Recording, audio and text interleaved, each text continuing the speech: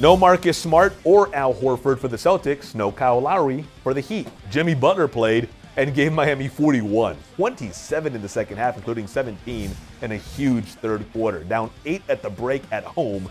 The Heat outscored Boston by 25 in that third period. Tyler Herro added 18 for the East top feed.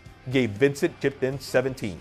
Jayson Tatum, as usual, paced the second seeded C's with 29. Jaylen Brown, as usual, not too far behind with 24. Game two tomorrow, 7:30 Central Time in Miami.